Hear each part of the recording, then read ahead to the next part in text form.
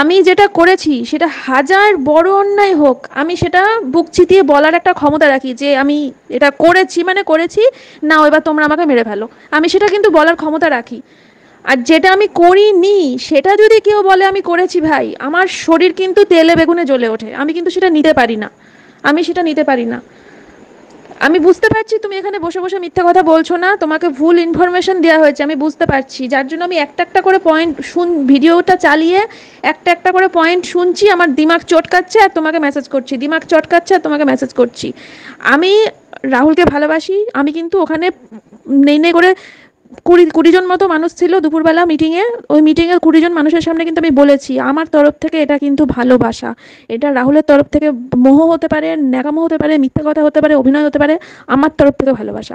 হ্যাঁ আমি এটা বলেছি, আমি স্বীকার করছি, আমার স্বীকার করতে কিন্তু কোনো বাধা নেই। আর এই যে কি সই করার সময় আমি, ওই সময় নাকি আমি কি বলেছি?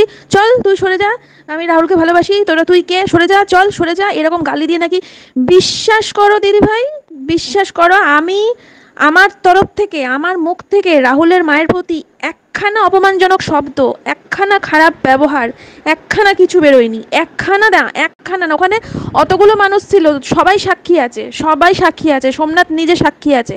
আমার মুখ থেকে একখানা অভদ্র গালাগালি, খারাপ ব্যবহার, কিচ্ছু ওখানে বেরোয়নি, কিচ্ছু না। যদি কিছু বেরিয়ে থাকে খারাপ ব্যবহার, অপমান, গালাগালি, সেটা শুধুমাত্র রাহুলকে বলেছি আমি। কারণ ও ওখানে বসে বসে যে কথাগুলো বলছিল, সেগুলো আমি সহ্য করতে পারছিলাম না। তাই যদি কোনো খারাপ ব্যবহার করে থাকি, সেটা শুধুমাত্র রাহুলের সাথে করেছি। রাহুলের মায়ের সাথে আমি বিন্দু মাত্র খারাপ ব্যবহার করিনি। আমি বরঞ্চ ওর মা যখন কথা বলছিল, বারবার করে মানে আমি আর, আমি যখন রাহুলকে কথা জিজ্ঞেস করছিলাম, তখন ওর মা পাশ থেকে যখন কথা বলছিল, আমি শুধু ওর মাকে একটা কথা বলছিলাম দিদিভাই তুমি চুপ। আমি এটাই বলেছিলাম দিদিভাই তুমি চুপ। এখানে যারা যারা বসে আছো, সবাই চুপ। তোমাদের কাউকে আমি চিনি না। তোমাদের কারোর সাথে আমার কোনো লেনদেন নেই। তোমাদের কারোর কথা আমি শুনব না। তোমাদের আমি এখানে ওর কথা শুনতে এসেছি। আমি এখানে ওর, আমি আমার প্রশ্নের উত্তরগুলো ও দেবে। ও ও নাকি বাড়িতে মেয়ে দেখতে বলেছে। ও নাকি আমার মেয়েকে স্বীকার করবে না বলেছে। যদিও আমার মেয়েকে স্বীকার না করার ও কেউ না, ও কেউ না আমার মেয়েকে স্বীকার না করার। এমন নয় যে আমি কাজ করি না, আমার মেয়েকে খাওয়া পড়া দেবে কে, আমার কোনোদিন ওর সাথে বিয়ে হলে আমার খাওয়া, মেয়ের খাওয়া পড়ার দায়িত্ব নেবে কে, ও কে আমার মেয়েকে অস্বীকার করার? ও আমার মেয়েকে অস্বীকার যেদিনকে করতো, সেদিনকে আমি এমনিই ওকে অস্বীকার করতাম। সেটা সেটা তা আমি জানি, আমার ভগবান জানে। যে মুহূর্তে আমাকে ও বলতো, মেয়েকে ছাড়তে, সেই মুহূর্তে আমি বলে দিতাম, তুমি ভাই, নিজের রাস্তা দেখো।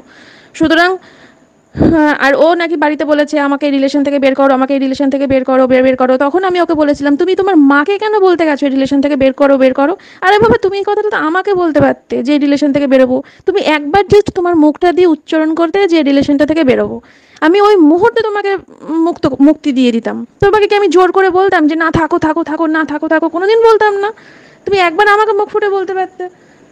আমার কথা হচ্ছে সেটাই। এই নিয়ে আমার সাথে আমি রাহুলকে বলছিলাম, রাহুল আমাকে বলছিল আমার দুজনের মধ্যে কথা হচ্ছিল। মাঝখানে যখন কেউ কথা বলতে আসছিল, আমি শুধু এটাই বলছিলাম, দিদি ভাই, তুমি চুপ করো। রাহুলের মাকে আমি দিদি ভাই বলে সম্বোধন করেছি। সেখানে এত বড় এলিগেশন আমার নামে লাগানো হলে আমি তো তেলে বেগুনে জ্বলে উঠবই। অতগুলো মানুষের সামনে আমি দিদি ভাই বলে কথা বলেছি, দিদি ভাই দিদি ভাই, তুমি চুপ করো। এখানে যারা যারা বসে আছো, সবাই চুপ করো। কারণ জীবনটা আমার নষ্ট হয়েছে। তোমাদের কাউকে আমি চিনি না, তোমাদের কারোর সাথে আমি কথা বলতে চাই না। আমি শুধু ওর সাথে কথা বলছি, ও উত্তর দেবে। তোমরা কেউ ওর হয়ে উত্তর দেবে না। ও উত্তর দেবে, নিজের মুখে উত্তর দেবে। আমি জাস্ট এই কথাগুলো বলেছি। বিশ্বাস করো, আমার নামে এই মিথ্যে এলিগেশন আমি জাস্ট নিতে পারছি না। তাই তোমাকে আমি অডিওটা দিতে বাধ্য হলাম।